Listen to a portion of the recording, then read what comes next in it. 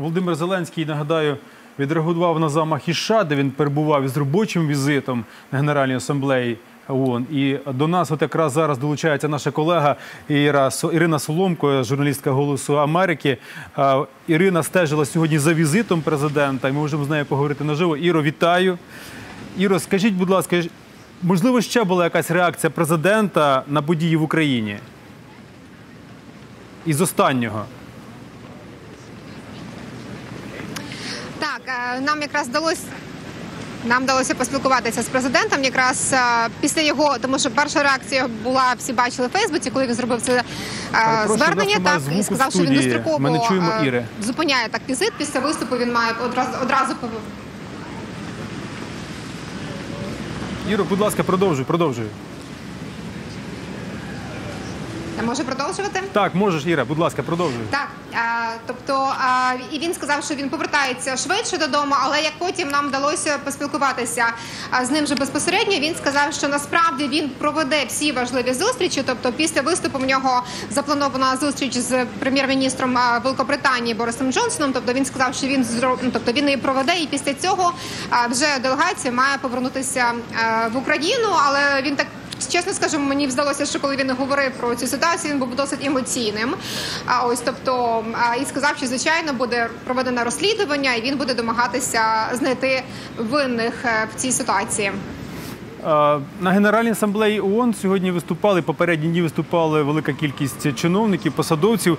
І е, вчора, до речі, виступав е, лідер Сполучених Штатів Джо Байден, який і словом не обмовився ні про Москву, ні про Північний потік. Це взагалі сьогодні, можливо, на Генеральній асамблеї хтось говорив про ці ключові для Європи, для світу речі, чи кожен про своє говорив? Москву хтось намагається взагалі поставити на місце в рамках ООН чи ні?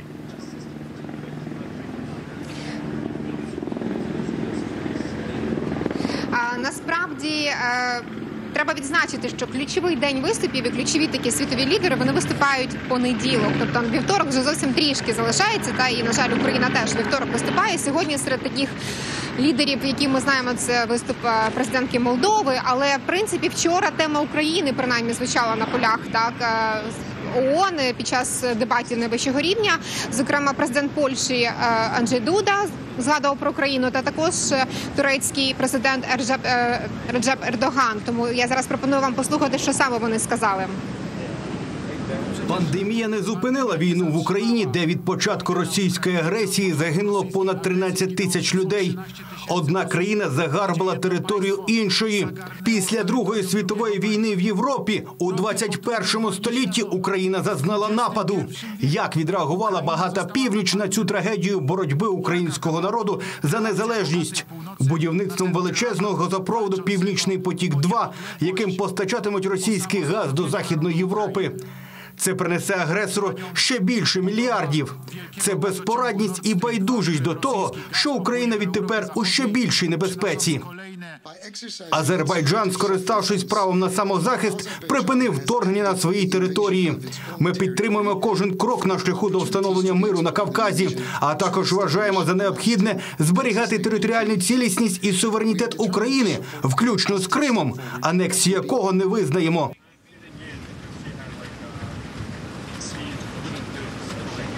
Пізно вночі буде виступ президента України. Які взагалі очікування від цього виступу в, Сполучених Штатах? Президентом, е,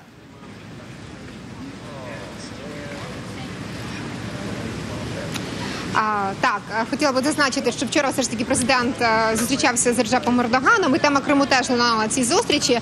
Повертаючися до е, вашого пана Віталію запитання щодо сьогоднішнього виступу українського президента, як вже стало відомо, він буде трішки, е, тобто час трішки змінився. І якщо попередньо говорили, що це буде 16.40 за Нью-Йорком, зараз мова йде про 16.10, тобто на півгодини він раніше виступить.